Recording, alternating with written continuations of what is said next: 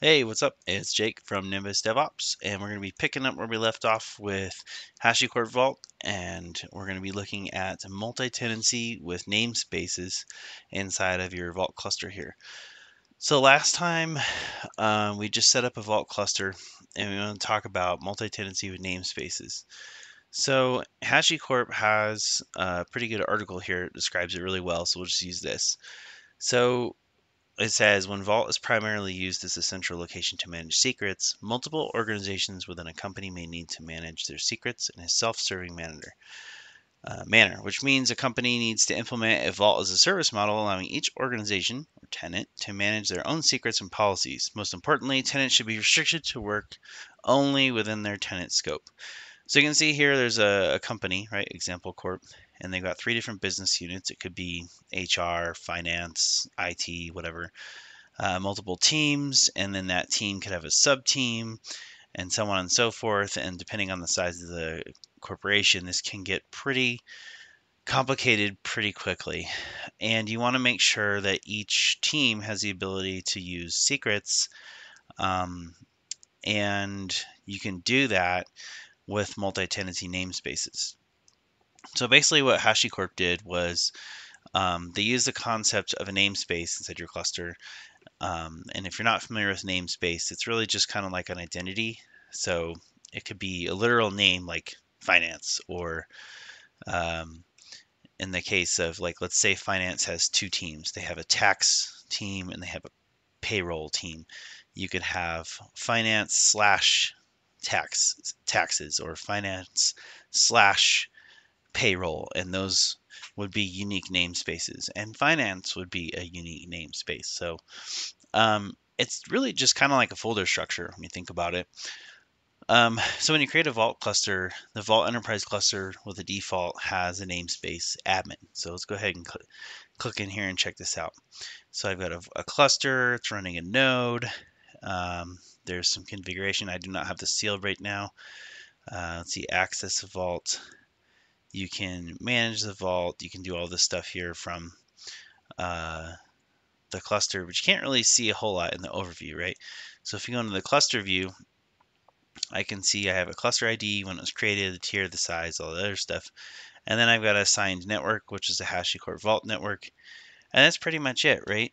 So um, we're going to have to um, we're going to have to set up this namespace. And in order to do that, I'm assuming you have a cluster, right, and connected to it. Um, and if you haven't, go back and watch that video really quick. But essentially, we just I have an org that I created called Nimbus DevOps, and then I deployed Vault and created a virtual network page, which is this guy. Um, selected a region, which is US East 1, accepted just whatever CIDR block it gave me, which is fine. And then you just need to make sure this doesn't overlap with any CIDR blocks you have in your existing network uh, in AWS. And then once you create it, it takes a few minutes.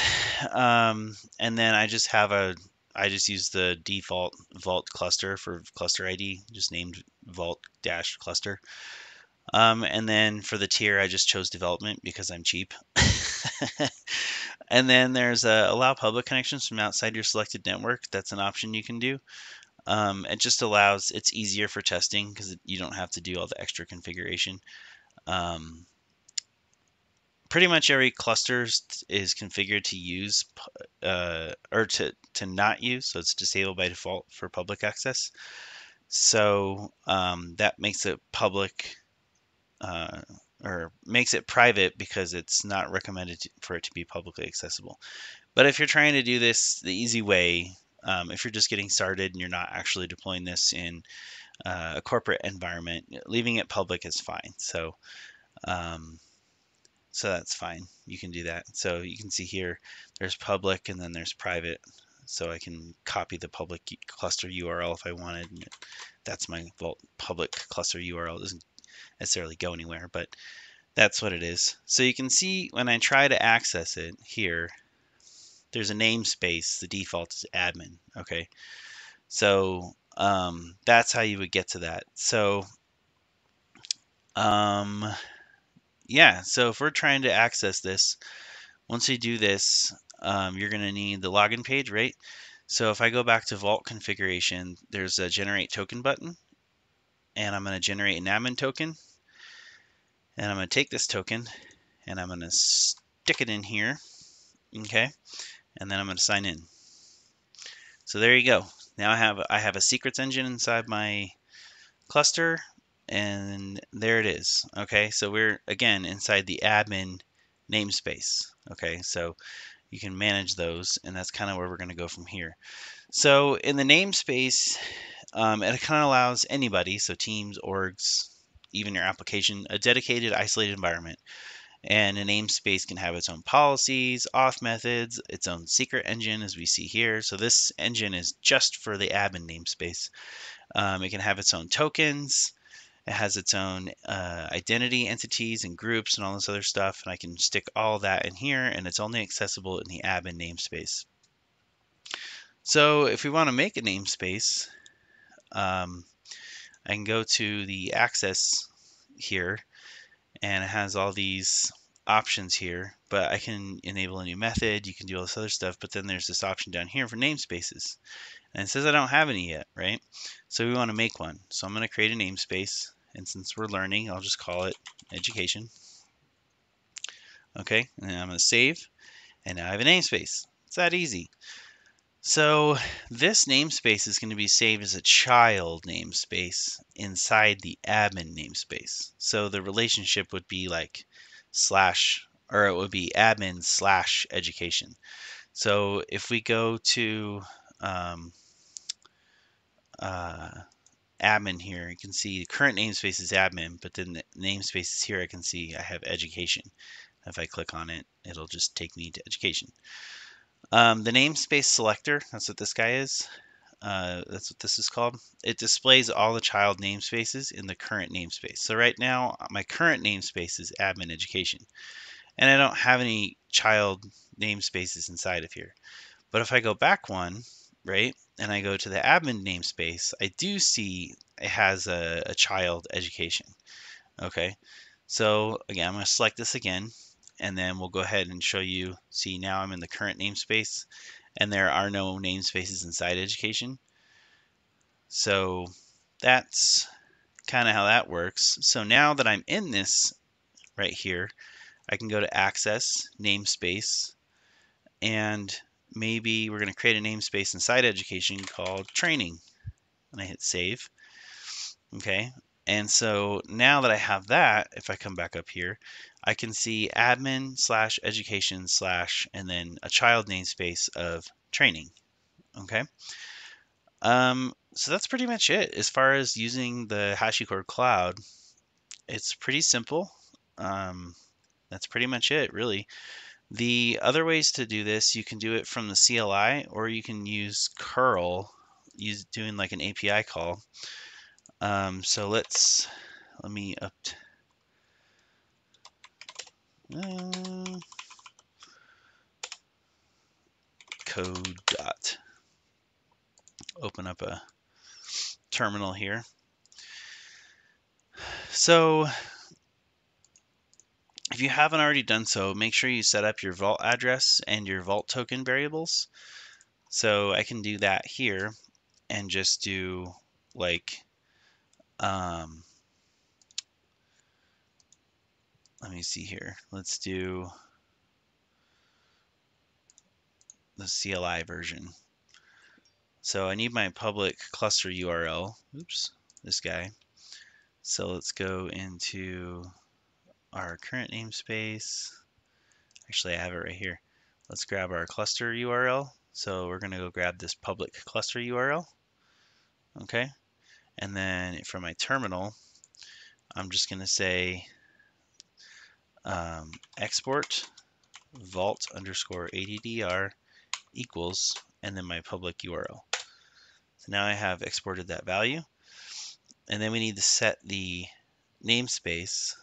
So for this, do I want to do, oh, I need a token. Well, we'll do the namespace too. So export vault underscore namespace equals, and then we'll just do admin like that.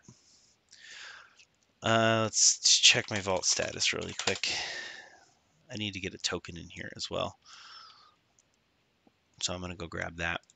Boop, boop, generate token. And copy this, come back here.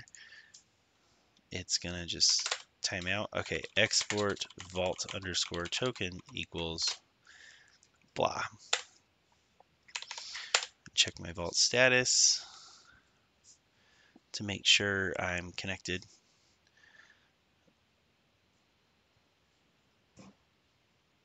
Okay, cool. So we're good.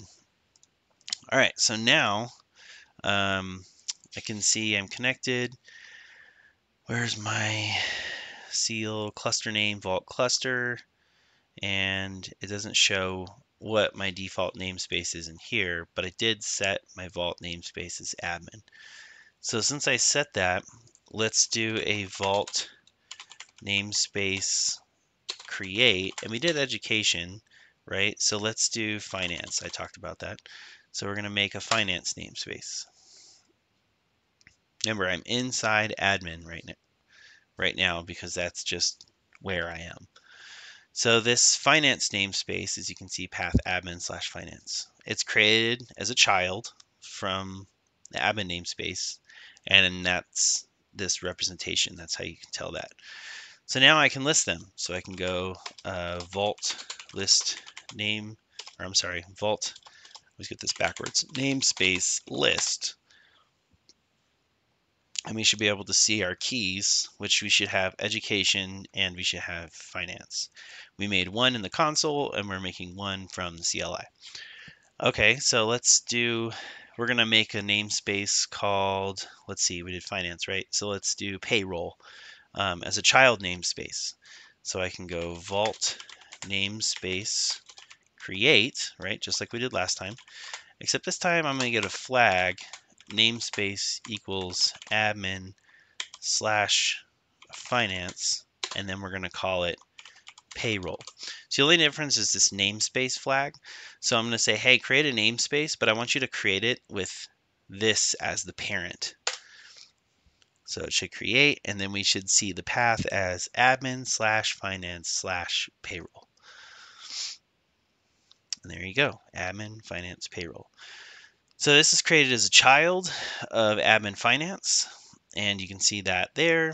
And then we can go ahead and list these. If I go vault namespace list, and then you can actually pass like namespace equals admin slash education, for example, and I can see, uh, I'll be able to see the training namespace inside education. And I don't know why my network is horribly slow. Or I could even just do finance, and I should be able to see the payroll key, right? Come on, come on, come on. There it is. And if I pass it without anything, and I just go vault namespace list, now that I have all this stuff in here, what do you think you're going to see? You're going to see the two children of admin because I didn't pass anything and by default I'm just in admin. So you can use the vault namespace environment variable or the namespace flag to target a specific namespace. So if you're working in something, you know, I did the export uh, vault namespace. If I did this with finance, for example, and then I did a namespace list, it's going to use my environment variable. So if I'm working in here and I don't want to have to type dash namespace equals all the time, um, oops, permission denied. it happens sometimes. Um, you can you can set that and you can just kind of move around as as you need to. So try that. Um, if you don't want to type dash namespace all the time, um, but you don't want to change your environment variables, you can do dash ns, and that should give you the same uh, same result as typing dash namespace. So in this case, I should see payroll, and I do. The little trick, it's kind of nice. Um, the last way you can do this is with curl. Um, this kind of sucks. um, I hate doing this. So if I were to do um, education, for example, uh, this would be the equivalent curl command. You ready for this? curl header x vault token vault token x header namespace admin request post vault addr v1 sys namespaces education jquery read dot data so it says null there's nothing to do there so if i if i redo this if I redid this and I made, I have education, I have payroll, right? What if I did, um, uh, let's do sales. So now you see I already had education, so it says null. Well, I didn't have sales, so it went ahead and created an ID, and I have the path sales. So the curl version is uh, not friendly on the eyes, but you can essentially do the same thing that I did in the console with curl, or yeah, in the terminal with curl instead of the CLI. But CLI seems it's just so much easier. So if I come back here now, I go uh, to my cluster, right? I'm already in it, and I look at the namespaces.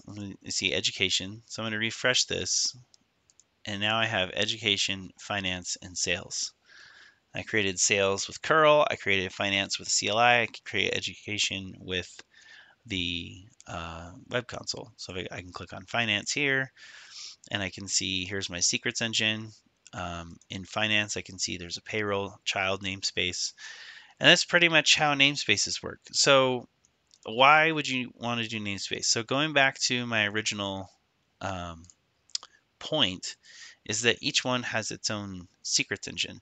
So you can have, in this case, you can see a secrets engine cubbyhole, a namespace cubbyhole 110667747. And if I go back to a different namespace, it's still called cubbyhole, right? I'm in admin finance, but look at the ID, namespace cubbyhole 0BE0474F. So this is actually a different, it's, it's a different place.